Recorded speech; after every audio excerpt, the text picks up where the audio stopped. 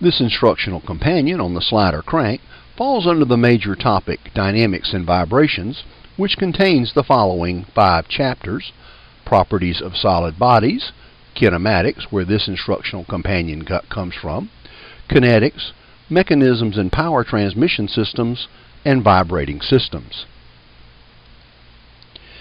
The chapter on kinematics covers the many topics shown, in particular relative motion, general plane motion, rotation about a fixed axis which had a instructional companion on the rolling wheel, slider rod, another uh, instructional companion, and slider crank assemblies, the subject of this presentation.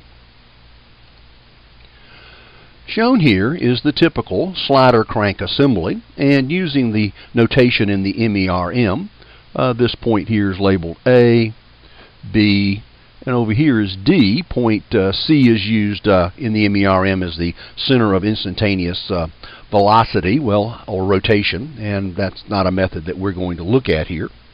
And uh, in this particular assembly, uh, AB is called the crank. And over here, this is called the slider, hence the slider crank. And connecting the two, as you might imagine using the word, is the connecting rod.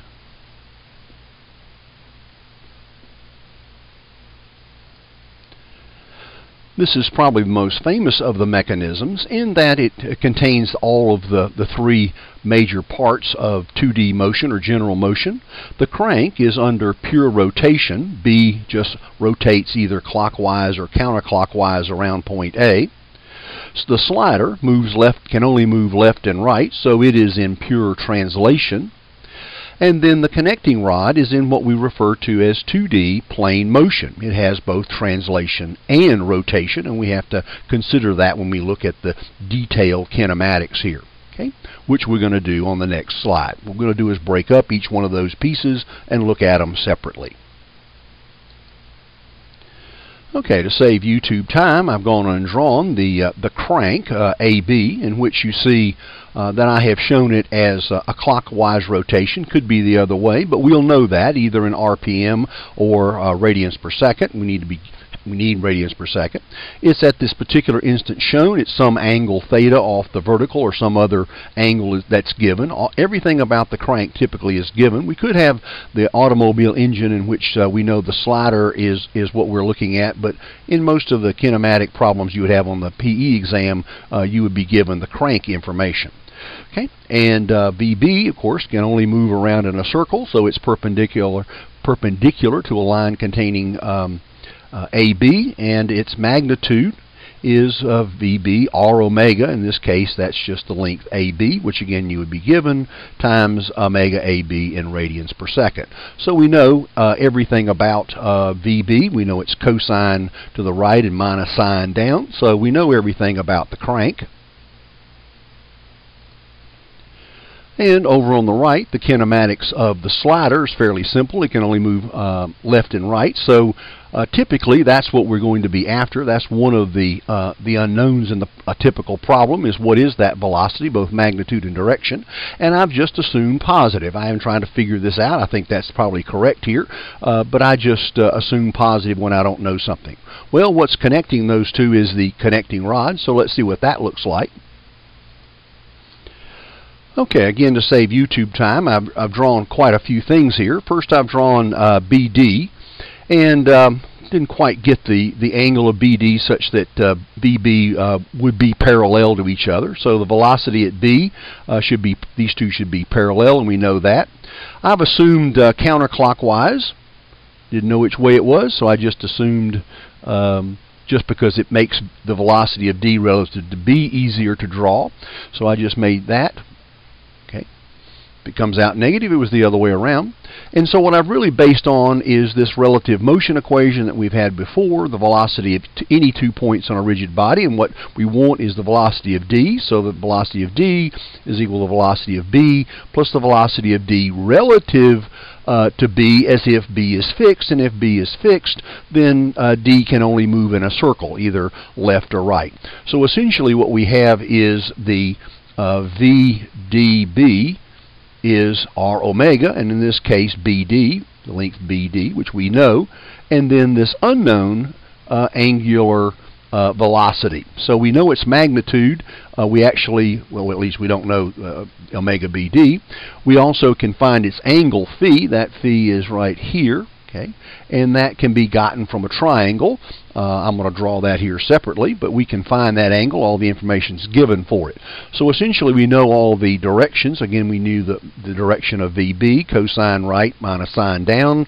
Uh, velocity of D is a horizontal only, and the VDB is cosine to the right, sine uh, phi up. So that's all we kind of need. So let's do that here. Let's show you how phi is found. Okay, if we draw this little triangle, uh, it's a scalene triangle, but we can uh, drop a perpendicular, as we say, and what we're looking for is this length here, so that we can use the definition of the cosine of phi as the adjacent over the hypotenuse. Well, this uh, vertical distance right here is merely the uh, cosine, AB cosine uh, theta, which we know. We know AB, we know theta, we know BD, so we can find that for a particular uh, geometry. So, so that's settled. So what's left is is just to write out the two scalar equations associated with the vector, one in horizontal or x and one in the vertical, and we'll have two equations and two unknowns. So let's do that. So again, to save YouTube time, I've just said, okay, if we look at make positive to the right, uh, our assumption, VD is uh, got only a horizontal, it doesn't have a vertical, so a zero down here. Our VB is right and down, VB cosine to the right, VB sine down. And then our VD uh, relative to B term, which again is uh, equal to the uh, BD times omega BD, so that's hidden in there. Cosine phi to the right, sine phi up. So essentially what you have is two equations and two unknowns. Let's write that out. So essentially, you have two equations and two unknowns, the velocity at D and the angular uh, velocity of the connecting rod, BD. So you could just write these equations, put them somewhere. This solves uh, all of the slider crank problems. Uh, put those in and find out what you need. Okay.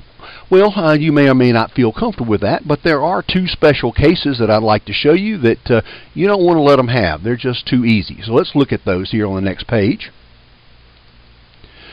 Okay, special case uh, number one is where the slider crank uh, AB and D over here. AB is vertical. It's a clockwise uh, rotation, 10 radians per second. Could have been given in RPM, but we'd have to convert that.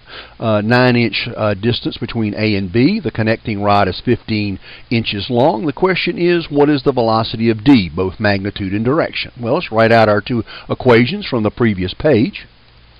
Going to save YouTube time. I've just written these out. Velocity of d is velocity of b cosine uh, theta plus, and I expanded out here the velocity of d relative to b and put it into its basic terms, bd, r omega, omega bd. What's unknown is the omega bd, cosine phi. And then the other equation, 0 minus vb sine theta plus bd omega bd sine phi.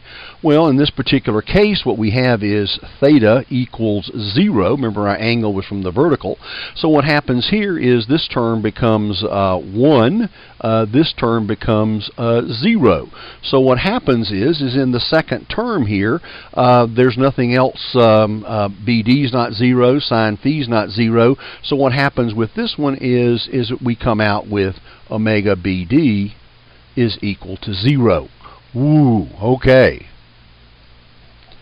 And if omega BD is 0, then this term out here goes away. So what we end up with is the velocity of D is just equal to the velocity of B, which we can calculate. That's just equal to uh, AB omega AB, okay, in which we can put in the numbers. And so I went on and did this save YouTube time, put in the 9 inches times the 10 radians per second. That gives us 90 inches per second. divided by 12 to get 7.5 feet per second. We got a positive number, so therefore it is positive to the right. Notice that we didn't have to find uh, the angle phi uh, and all of that. It was just happened uh, naturally. How about that? So don't let them have that one. Now there's another special case. You might see this one coming. Okay, special case number two. Well, I'm going to use the same dimensions. I'm going to lay out the uh, slider crank to where AB is horizontal, again 9 inches and 15 inches, rotating clockwise at 10 radians per second. And if we remember on our assumptions, the way we wrote this, uh, our equations out, omega BD is this way, and uh, the question here is going to be what is that? What is its magnitude and what is its direction? Okay, well let's write out the, the equations again. Okay, again to save YouTube time, I've written out the exact same equations. So, well, what do we have here? Well, remember, uh, theta is measured uh, over from there, so theta is equal to uh, 90 degrees, and then uh, phi is me measured back around, so in this case, uh, phi is equal to 90 degrees. So both are 90 degrees, and so what does that do for us? Well, the um, uh, cosine of um, 90 degrees is equal to um, 0. Uh, the sine of 90 degrees is equal to 1, so we got that. Cosine of phi again is uh, 90 degrees is 0, and down here sine of uh, 90 degrees is equal to 1. So what are we left with? Well, we're left with uh, VD actually comes out to be zero. That's why you didn't really uh, weren't asked for it, although we could. That would be a nice uh, question. And then if we look at this equation and take uh, this to the other side, what we'd have is omega BD. And let's do that. Okay, so the minus VB goes to the other side. Divide both sides by BD. So we have that. And we'll put the numbers in that we have. And remember, uh, the velocity at b is just equal to r omega, 9 times 10 radians per second. bd is 15. Units cancel, so we're going to end up with our radians per second. If we do the arithmetic, we get uh, 6 radians per second. But what is also important is that we get a positive number, so our direction, our assumed uh, counterclockwise, is correct. I you know just I just put it on there for because um, uh, it fit better. Didn't have any insight, but that works out there. Okay, how about that?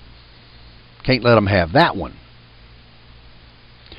Well, again, a uh, slider crank not be, might not be in the common AMPE exam, but it sure might be a, uh, in the, the afternoon, and so, again, uh, not one to let them have. Again, I invite you to visit my website as part of your exam preparations.